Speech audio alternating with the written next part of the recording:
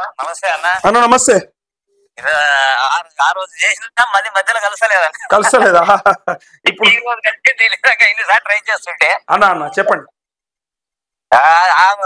మనది రెండు పైన ఉంటే అమౌంట్ కట్టేసిన అన్న నేను. కానీ వాళ్ళకు పడితే ఏమో మీ ఇష్టం కట్టుకుంటే కట్టుకోరు అని చెప్పిండ్రు. సరే ఆ. గైడ్ లైన్ ఇస్తలేరు ఇంకా ఏ వాళ్ళు ఎరైతే కట్టేసుకోరు అని చెప్పిండ్రు. ఆల్రెడీ కట్టేసిన. ఇక రెన్యువల్ టైం కూడా ఈ నెల ఇరవై ఐదు వరకు ఉంది. ఇరవై ఐదు వరకు ఉంది. ఓకే. అయితే రెన్యువల్ ఒకవేళ అమౌంట్ చేస్తే మళ్ళీ వస్తుందా రాదని డౌట్ డౌట్ ఉంది కదా. అందుకే చెయ్యొద్దని అంటారు కదా. యాక్చువల్గా రెన్యువల్ చేయొద్దు ఇప్పుడు మాఫియా అయిపోతుంది అంటారు కదా. ఒక్కసారి బ్యాంక్ మేనేజర్తో క్లారిటీ తీసుకొని చేయండి. లేకపోతే మళ్ళా ఆ రెన్యువల్ చేయలే కాబట్టి కాలేదని అనిపించుకోవడం ఎందుకు? ఆ, అదే కూడా అదే అడిగితే ఏమో మీ ఇష్టం అని చెప్తారు రెండు రకాలు. ఇప్పుడు రెన్యువల్ అంటే ఏంది? మొత్తం కడితే మళ్ళీ మనకు అమౌంట్ ఇస్తారు కదా. అట్లా అయితే నేను అందుకని ఆలోచన చేసి మరి ఒకవేళ ఖాళీ ఇంట్రెస్ట్ కట్టేద్దామా అనేది అనుకునే వాళ్ళు ఏం చెప్తలేరు అమౌంట్ కట్టేసిన. ఎందుకు చెప్పారు ఎందుకు చెప్పారంటే ఎందుకు చెప్పారంటే రెన్యువల్ చేసుకుంటే కాలేదు అన్నా రేపు పొద్దుగల నువ్వు పోయి అని గలవడతావు అరే నీ వల్లనే అయిందిరా భయ వాళ్ళు అదే చెప్తలేరు భయం, అవుతలేదు. రెన్యువల్ చేయకపోతే అయితుండే అంటే కూడా నువ్వే పోయి అడుగుతావు మళ్ళా. అట్లని వాళ్ళు మీ ఇష్టం మేమేం చెప్పలేమన్నారు. అన్న ఇవాళ ఇవాళ డేట్ ఎంత? ఇవాళ డేట్ ఎంత? పదమూడా? పదమూడా ఇంకా పన్నెండు రోజులు ఉంది నీకు పన్నెండు రోజులు లోపల చూద్దామని ఒక్క వారం ఒక్క వారం ఆగు ఒక్క వారం ఆగు. ఈ వరదలు అది తగ్గినాయి కాబట్టి అది జర నాకు తెలిసి సెట్ అయిపోయినట్టు అనిపిస్తుంది. కేబినెట్ సమావేశం పెట్టుకుంటారు అనిపిస్తుంది. రైతు బంధు గురించి ఎన్ని ఎకరాలకు వేయాలనేది అట్లే ఈ గైడ్ లైన్స్ గురించి. సో ఒక వారం పది రోజులలో మనకు ఒక క్లారిటీ వస్తది. నీ ఆ రెన్యువల్ లోపలనే ఒక క్లారిటీ వస్తుందని నాకు ఎక్స్పెక్టేషన్స్ ఉన్నాయన్న. అదే అదే ఇప్పుడు ఇక్కడ ఏమైందంటే ఇంచుమించు మాకు ఇక్కడ ఈ కాంగ్రెస్. కార్యకర్తలకు సంబంధించిన వాళ్ళకే ఇంచుమించు మాకు ఈ రెండు పైన అమౌంట్ ఉమ్. మంచి మేము బాగా తిప్పలవాడి అది చేసి కాంగ్రెస్ చేస్తే మిగతా వాళ్ళు ఏమో ఏమైనా మీరు కాంగ్రెస్ కార్యకర్తలు మీకే ఇట్లా చెప్తే గమ్మత్ అనిపిస్తుంది ఊళ్ళో ఏం చేస్తాం మరి? అవునన్నా ఇది చెప్తుంటే ఏమో బాబు మాకు తెలియదు మీరు ఓట్లే ఇప్పుడు కొంతమంది ప్రేమతో ఓట్లేసిన వాళ్ళు ఇట్లనే బాధపడుతురు ఆ, ఏపిచ్చిన వాళ్ళు బాధపడుతురు నాయకుల నా కుద్దు. మండలాధ్యక్షులు మనకు ఫోన్లు చేసేది మండలాధ్యక్షులు చేస్తారు ఇక చెప్పిగా. అదే వస్తుంది అసలు. ఇక జిల్లా అధ్యక్షులు మిగిలిర్రు ఎమ్మెల్యేలు మిగిలిరు ఇక. అందరికి అందరు చేస్తుర్రు. అదే అదే అన్న ఎంత చేసినా కూడా చాలా మంది అదే ఎట్లా ఎట్లా అని మన చేతులు ఏం లేదు కదా ఎట్లా చేసేది ఏముంది? అట్లా కాదన్న ఒత్తిడి దేవాలి వాళ్ళు. కార్యకర్తలు కానీ లేకపోతే నాయకులు కానీ కాంగ్రెస్ వాళ్ళు ఏం చేయాలంటే అన్న మనం ఆనాడు కాలర్ ఎగరేసుకొని చెప్పినామన్నా ప్రతి రైతుకు రెండు లక్షలు అవుతుంది మాఫీ అని కేసీఆర్ చేయలేడు అది చెప్పినాము. మరి ఇలా మనం చేయకపోతే రేపు మనని కూడా బొంద పెడతారన్న అని చెప్పాలి ఇప్పుడే వాళ్ళు? ఎప్పుడైతుంది? ఎప్పుడైతుంది? రైతు చచ్చినాక అవుతుందా? ఇంకేనాడు అవుతుందా అన్న ఓ ఉరేసుకొని చచ్చినాక పురుగుల మంది తాగినాక ఆయన అవుతుందా ఇప్పుడు మన కూడా ఇక్కడ జరిగింది కదా. ఇప్పుడు అంటే ఇంకో పది మంది పానాలు పుచ్చుకున్నాక చేస్తారా వీళ్ళు ఇది లాస్ట్ అంత మరి అట్లా కాదు కదా. ఇప్పుడు టైం చెప్పిండ్రు.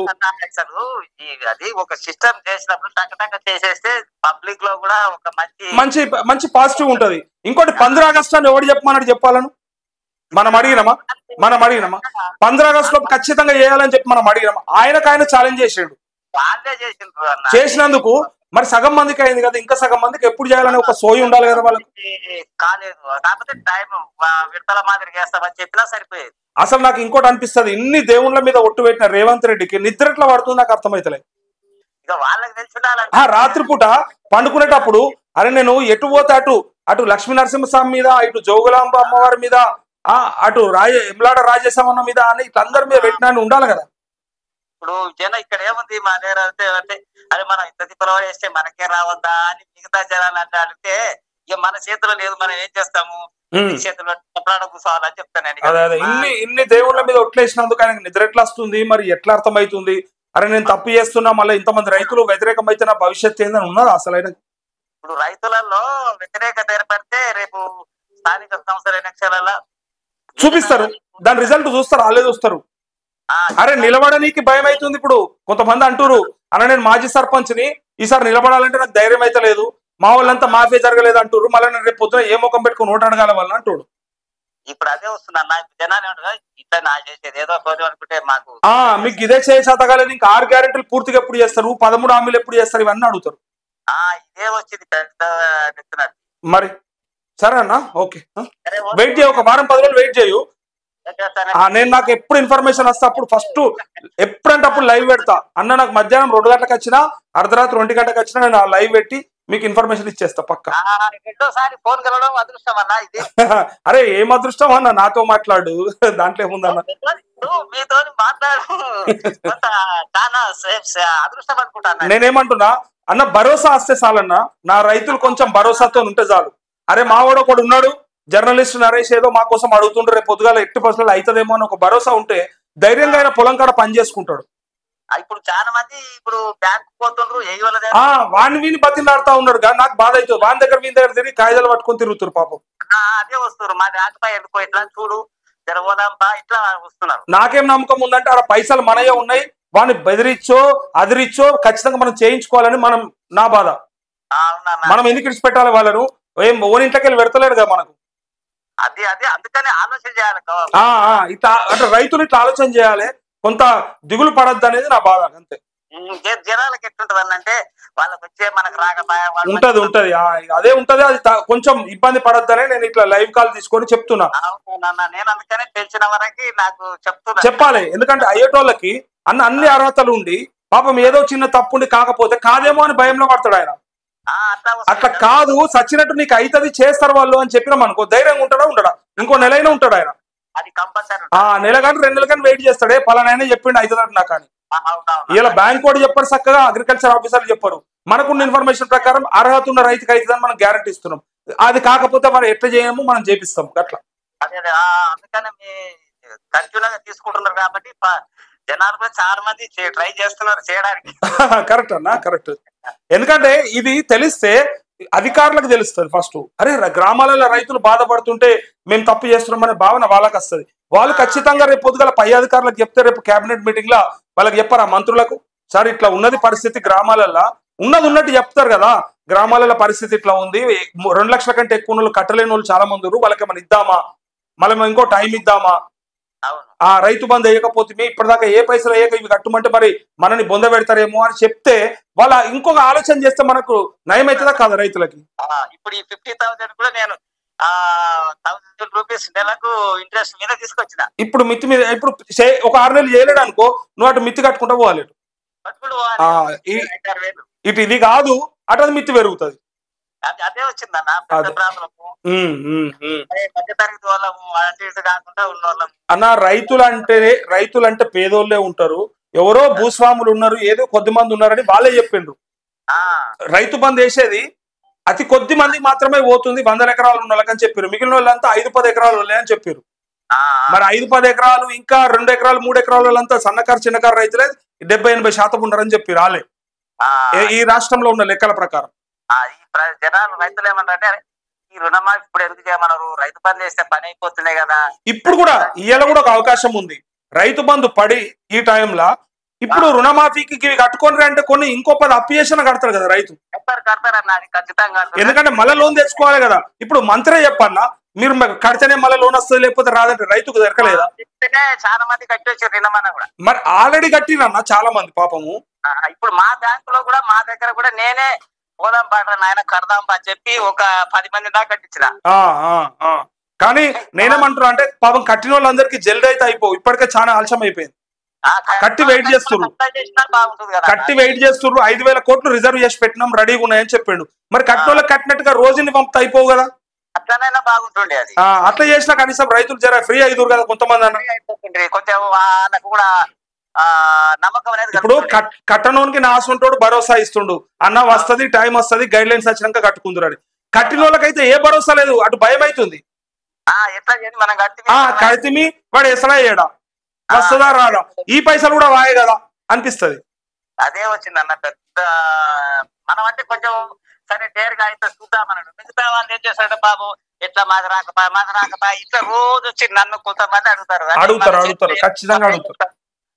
అన్న నాకు మీరు కాదు ఫోన్లు. పెద్ద పెద్ద నాయకులే చేస్తుర్రు? రైతులు కాదు నాయకులే చేస్తుర్రు?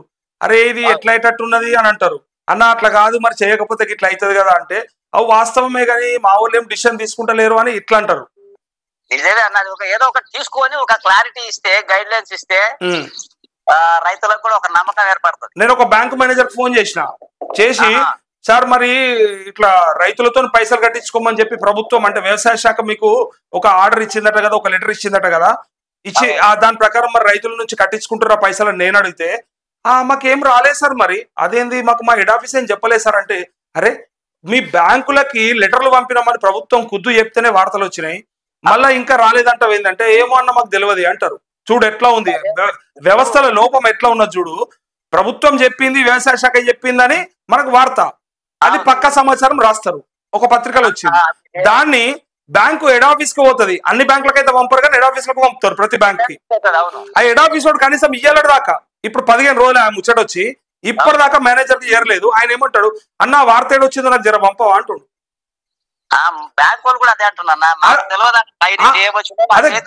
అంత మిస్కమ్యూనికేషన్ ఉంది అంటున్నా.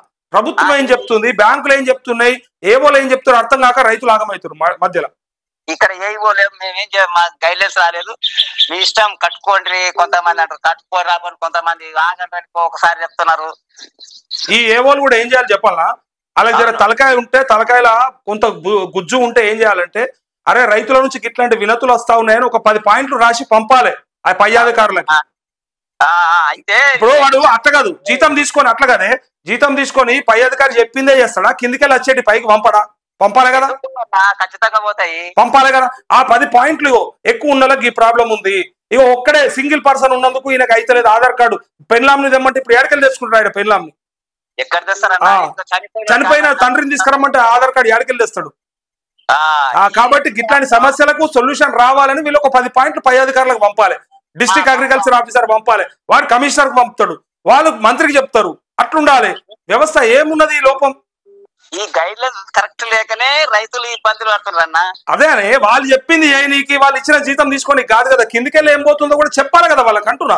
నుంచి పోతేనే కదా గ్రామాలలో రైతులు పడే బాధలు కనీసం కనీసం పది పాయింట్ల గ్రూపులలో వాళ్ళ అధికారులకు చెప్తే వాళ్ళు పైదాకా తీసుకుపోతారు తొందరగా. అవునన్నా ఆ సోయి ఉండాలంటారు వాళ్ళకి. నిజమేనా ఏదో అయినా ఇక మీరు రోజు బాగానే తీసుకుంటారు తీసుకోవాలన్నా నా మాటలు అన్న నన్ను ఓడని తిట్టుకున్నా సరే నన్ను ఏమన్నా అనుకున్నా సరే కానీ అట్లా కాదు ఓడికన్నా బాధ అయితే అయితే ఎటు ఎటువంటి రైతుకు మాఫీ చేస్తే సరిపోయి అనేది నా బాధ గంతే. అన్న అది ఖచ్చితంగా రైతుకు మంచిగా కావాలి. గంతే అన్న గంతే. థ్యాంక్ యూ మీరు ఇంత కంటిన్యూగా ఒక్కొక్కరికి ఐదు నిమిషాలు పది నిమిషాలు మాట్లాడడం చాలా గ్రేట్ అన్న ఇది. ఎందుకోసం అంటే అన్న ఈ పాయింట్స్ అనేటి తెలియకపోతే వాళ్ళకి నొప్పి తెలియదు ఏం అర్థం కాదు ఏం జరుగుతలేదు అనుకుంటారు.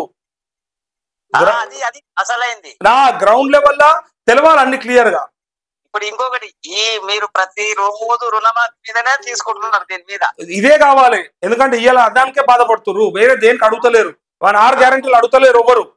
అది. పెన్షన్ ఇంకా రెండు వేలే ఇస్తున్నావు ఇంకా రెండు వేలు ఇవ్వవా అని అడుగుతలేరు ఎవరు. అది లేదు ఇప్పుడు. ఆ ఇరవై ఐదు వందలు ఇస్తాను ప్రతి మహిళకి రాష్ట్రంలో అని అడుగుతలేరు. కనీసం చెప్పిన ఎందుకంటే ప్రతి రైతు కుటుంబంలో అంటే ప్రతి కుటుంబంలో ఒక రైతు ఉంటాడు. ప్రతి కుటుంబానికి ఎంతో అంతో భూమి ఉంటది. భూమి లేని వాళ్ళు కొద్దిమంది ఉండొచ్చు. కానీ ఉన్న వాళ్ళకి నువ్వు ఫస్ట్ చేయాల్సిందే చేయకపోతే మొదటగా నువ్వే చెప్తివి ఖచ్చితంగా రుణమాఫీ చేస్తాను. ఆయన రుణ విముక్తిని చేస్తా అని చెప్పి ఇంకా రుణం పెంచుతున్నావు ఇంకా అప్రపాలు చేస్తున్నావు రైతుని.